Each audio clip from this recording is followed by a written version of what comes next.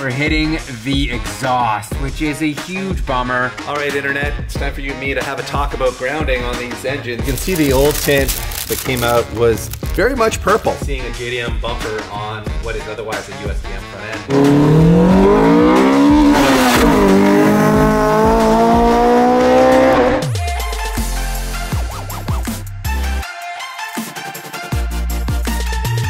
EG ready to do battle, it is time to finish off the EF with one last glorious build episode before it goes to the racetrack. And as you'll recall from the previous episodes, we do have a whole host of Hardrace suspension arms to put in there because we didn't have them at the time. They are here now, and we thought, you know what? A few other things we want to do. So let's just up our level here, up our game a little bit, and really put that cherry on top of this beautiful EF.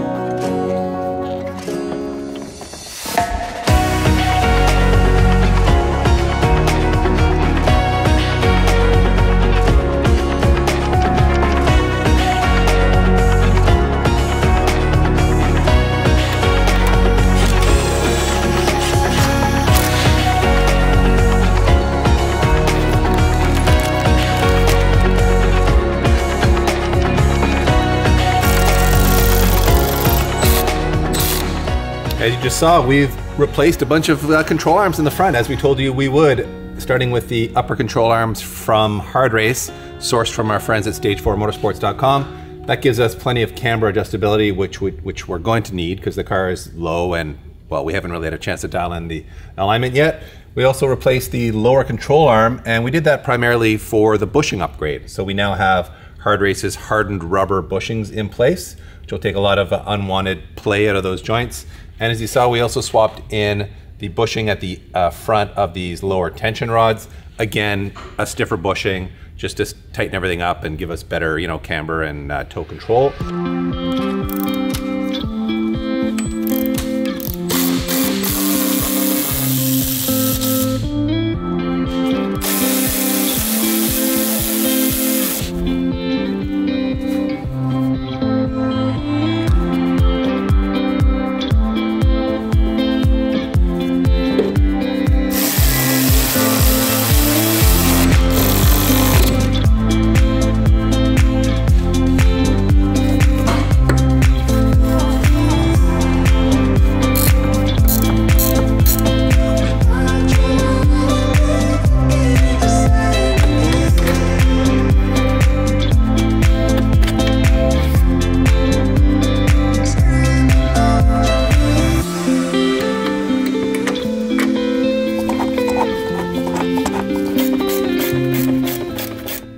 We've done much the same that we did up front. We changed out the lower control arms to these really nice billet ones from Hardrace, again with their hardened rubber bushings in all three locations.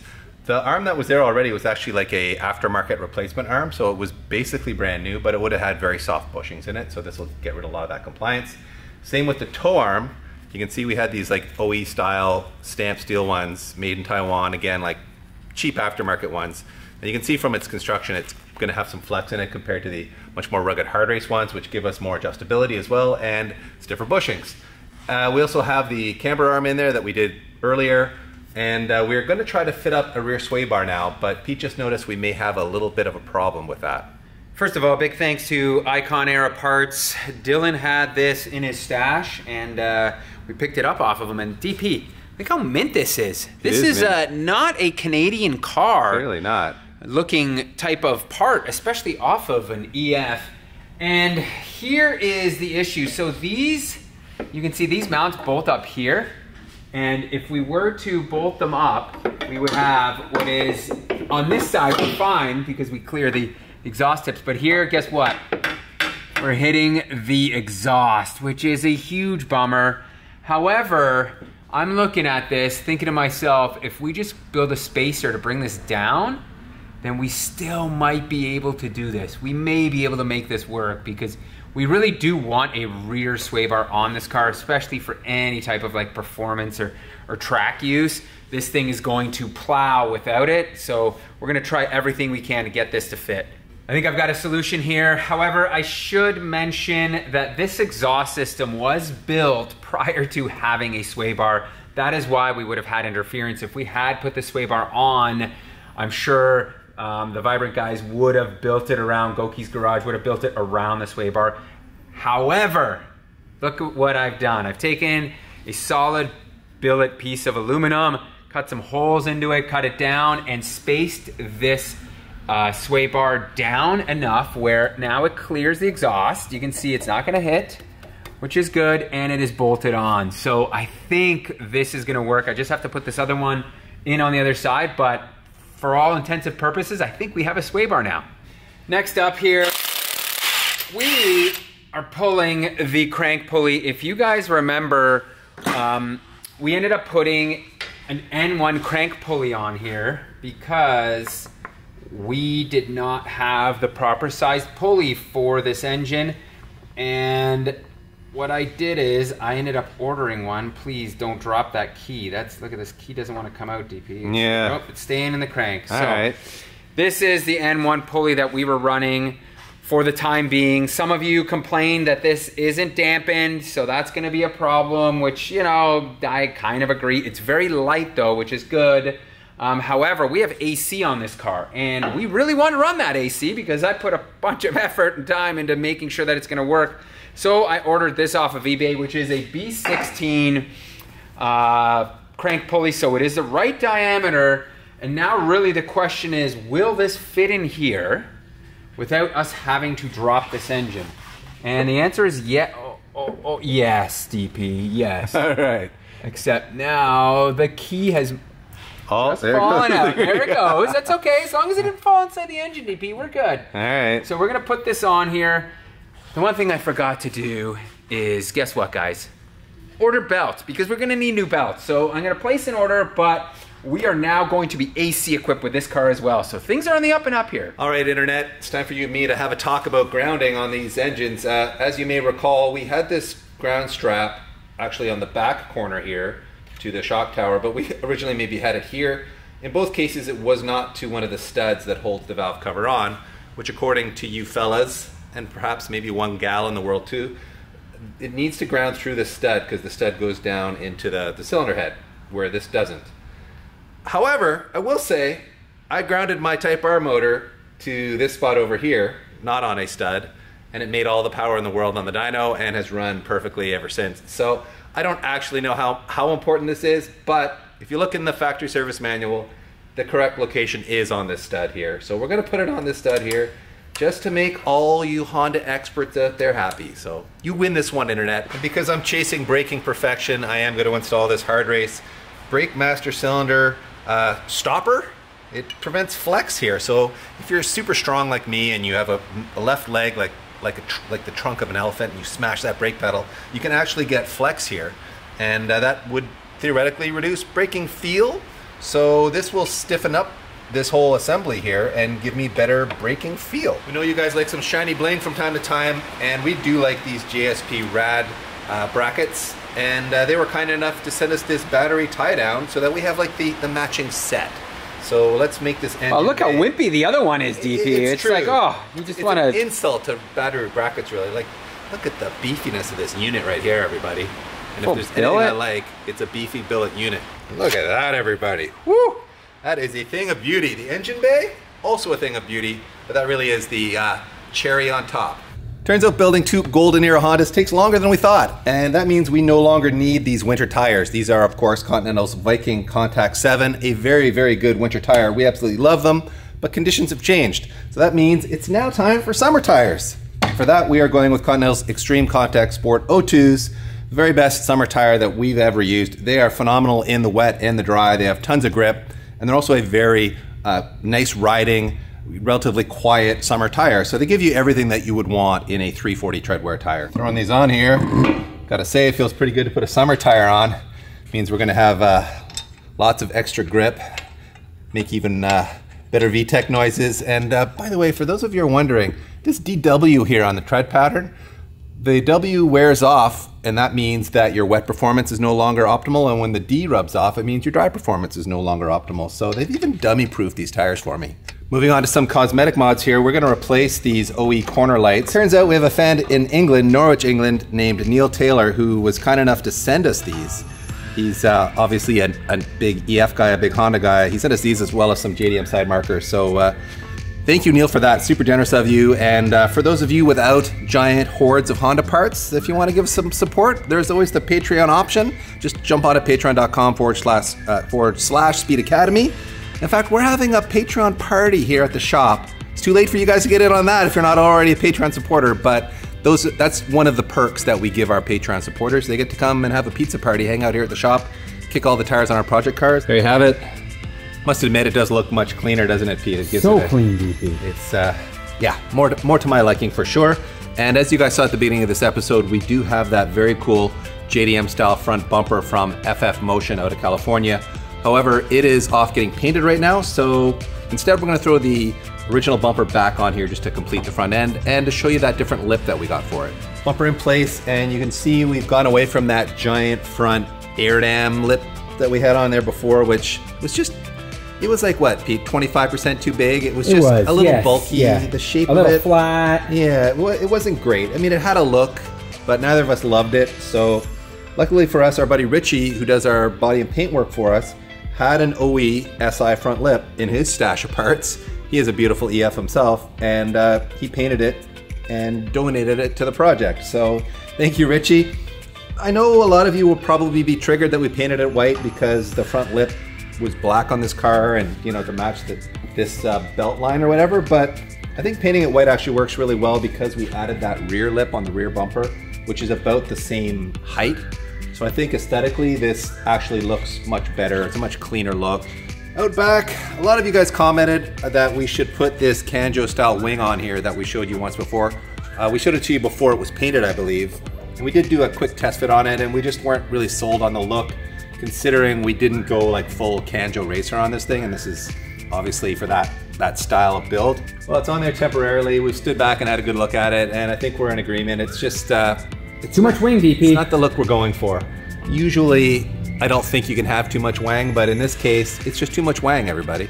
If you look at the front end of the car now, especially with that smaller front lip spoiler, this just overpowers it. It looks imbalanced. Now it's time for the favorite part of every build, and that is sticker tuning.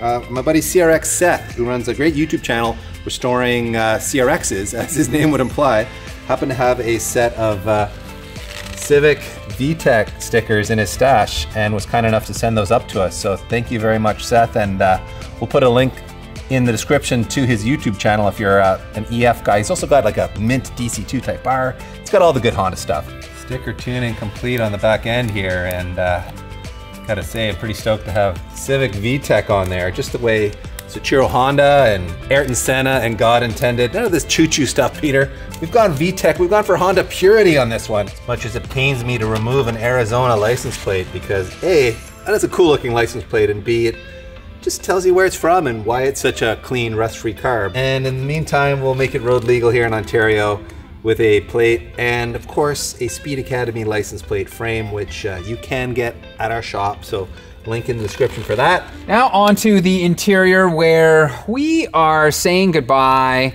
to the mile per hour speedometer here and swapping out a whole entire cluster here with kilometers an hour. Uh, thank you to Icon Era Parts, still in over there. He just seems to have all of Got all the the, the parts. But DP, look at this. This one says unleaded fuel only. Yeah. And this one, we've got the French on there as well. Oh, wow. Essence sans pombe seulement. I, I- butchered that, I'm sure, but uh, it's close enough, right? But you can see the clusters are the same. What we would have loved to have here is like a 9K SIR uh, tach, but those are completely different than these. So y- there would be a ton of wiring needed to, to, to make work, and especially with the speedometer on those cars as well, because it's this one you can see is a cable setup where the SIR one is a digital one. So it would be a nightmare to try to figure that out. So we're just going with this, and I think from putting this back in, it's gonna be a plug and play affair. And really what I wanna show you guys here is the whole hood, this is super easy to take the cluster out because the whole hood comes off, which is kind of nice. There's two screws in the back here, two screws here, and then you just pull this whole thing off and it comes out. So uh, I, I love the simplicity of 80s Hondas. And you can see now putting this back together, gonna be super easy as well.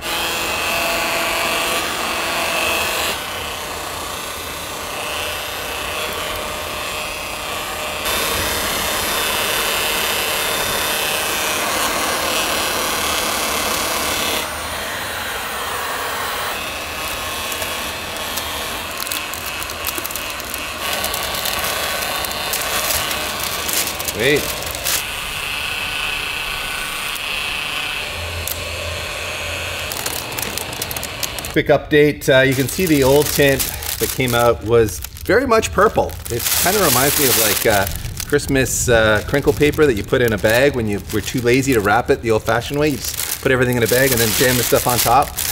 And interestingly, the rear glass had a much newer, non-purpled tint that came off way cleaner. Like it left no glue residue behind. Just a nice minty fresh smell. So uh, the challenge now is the purple stuff left a lot of glue on the inside of the glass. So we're gonna have to get in there with, I guess, soapy water and a razor blade, Pete. Yeah, that, that like- seems like the, the way to go.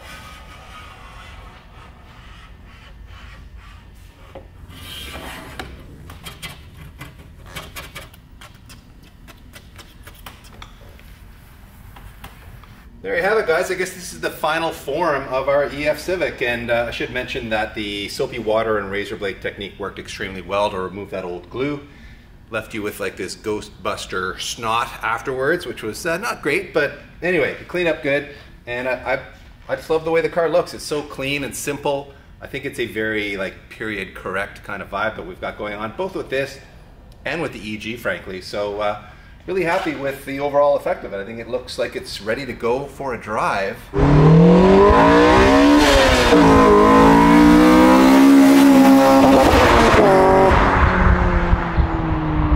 Well, we are in the EF. We are driving. Feels like a fishbowl, DP. It does, yeah. I'm sitting up way high and I'm surrounded in a little bubble of glass and the seating position is not great.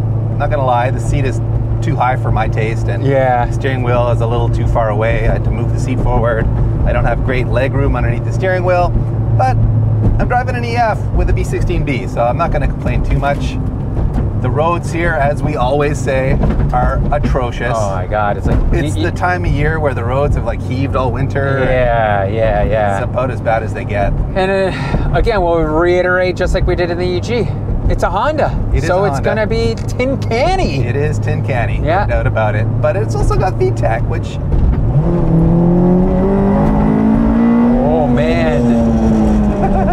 yeah, that feels good. That feels- feels lively. feels spicy. I That don't know if does it feel feels lively. EG spicy, but let's give it a proper rip here. and Yeah, see. yeah. You do have to give it some revs with this clutch, I find. Yeah. Bury the needle on the tach here.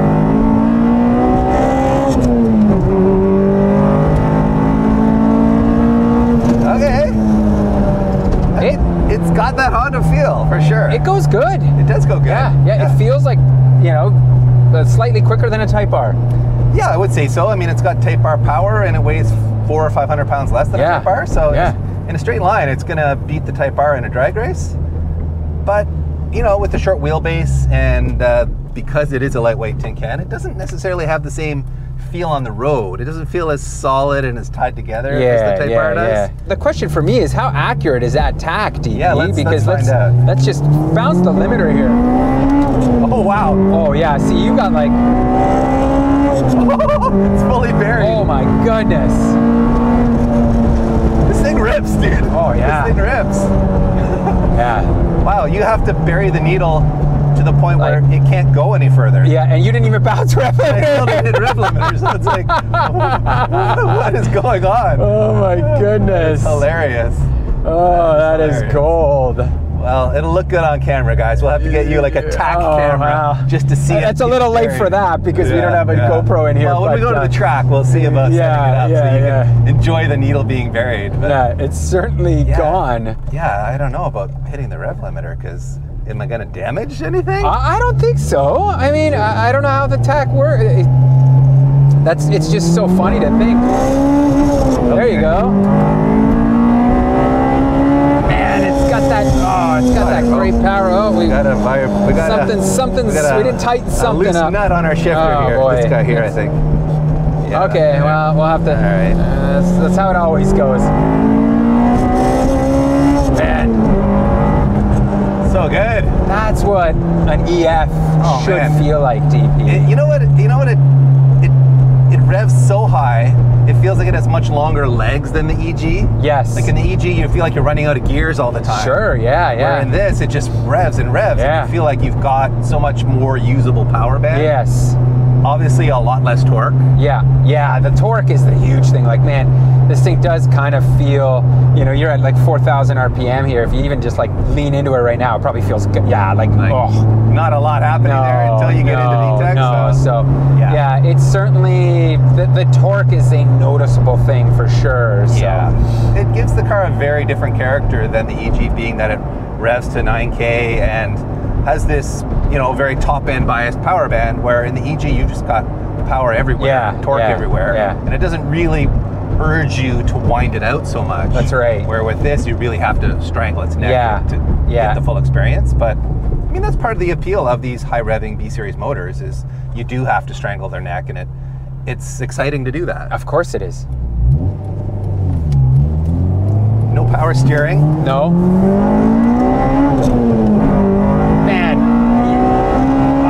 I could just do this all day, PT. yeah, it's so good. And see, the suspension is really nice It is is nice. compliant. Yeah, it is. When the roads are good, Are reasonable. Yeah, no, these fast road pros are Yeah, really good on, yeah. on on a reasonable road surface. Yeah. But when you get into the potholes and all the garbage we have around here, it gets a little crashy, Yeah. and that's really no fault of Annex. That's just in any car, it's going to be garbage over those types of roads. So And I want to make a point that this is the best sounding exhaust system I think I have heard on not just EF, but a Honda. really,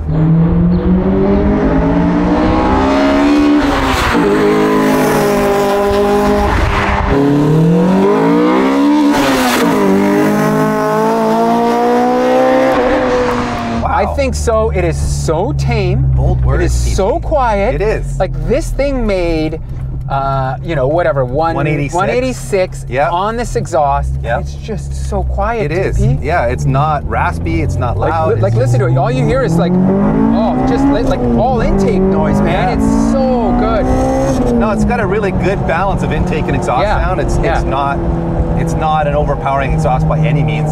And cruising, there doesn't seem to be any drone. Like we haven't cruised at highway speeds yet, but overall, Oh, I I, think it there's there's no sounds chance. Not really with those good. resonators and, and the, that that big muffler. There's there's just no chance.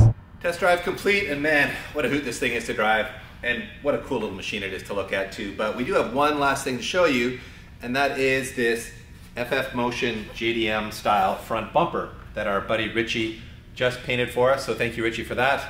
To mount a JDM style bumper like this, you would either need a genuine JDM uh, mounting bracket. It's not really a rebar anymore. It's just a bracket that holds the bumper up and connects it to the car. We actually borrowed this from Icon era parts locally. We do not own this. And that's because this would cost way more money than a little piece of metal like this is worth. All of this JDM front end stuff is very, very expensive and almost impossible to find now, which is why FF Motion is making this bumper and are going to actually make a bracket that would replace this. They don't have one yet, but when they do have one, we are going to install their bumper with their bracket on this car so that we can verify for all you guys how it fits. I guess the other option would be to like try to hack up a USDM style rebar, which you can see is a massive piece of metal comparatively. But I'm sure with an angle grinder and enough patience, you could probably make it fit, or you could fabricate your own. There you have it mocked up quickly. There's no rebar or anything in there. We're just holding it in with a couple of screws on each end to give you an idea of how it looks. And I think it does look really cool to seeing a JDM bumper on what is otherwise a USDM front end. Obviously, we are missing the grill, and that is something they are working on. I believe they're 3D printing it now. This is like a prototype. This is a, a very early sample of the bumper. And it does seem to either require a JDM filler panel, or we could, because this is fiberglass, we could do some body work to make it fit the existing filler, filler panel better. But as it fits right now, it looks like it needs a, uh, a filler panel that sort of bends out more in the middle to, to fit the shape of it. I should also mention these uh, turn signals are their own. So these are reproduction JDM style turn signals. And overall, I think the, the look is really pretty cool. Oh, it also has an integrated front lip into it. In any case, it opens up a lot of interesting options for you guys out there who want to play around with a JDM look on your USDM uh, EF uh, Civic or CRX uh, without going and spending a million dollars on the genuine JDM stuff. As we wait for that uh, rebar mount and the grill piece from FF Motion so that we can do a final install on their bumper, we've reverted to the USDM one and you know what, it looks pretty great too. I, I, th this car looks good no matter what you do to it and I really don't mind the, the bigger, you know, diving board USDM front bumper. And look at this thing in the sun. It is a thing of beauty. I am so pumped on how this car has turned out and I hope you guys are too. Really enjoyed every part of this build. My favorite part so far?